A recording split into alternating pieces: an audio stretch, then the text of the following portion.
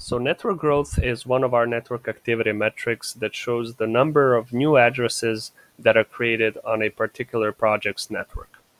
Basically what this chart really shows is user adoption over time. It can be used to see when a project is gaining and also losing traction.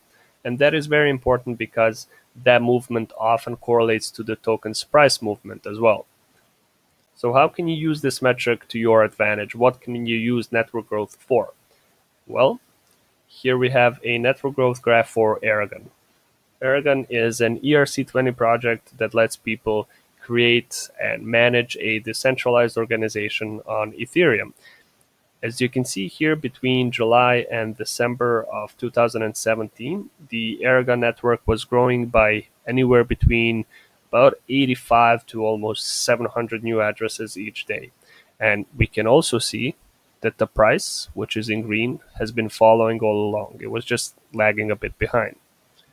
Now, right around the start of 2018, the network growth slowly started to drop. And what this means, what this indicates, is that the Aragon user base was no longer able to sustain any future price growth because it was very deep at that point.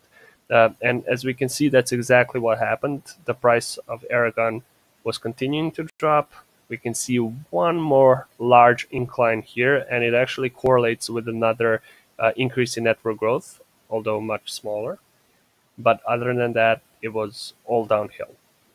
So really, network growth can be used as a solid price indicator, especially if you use it along our other network activity metrics, such as daily active addresses, to confirm uh, your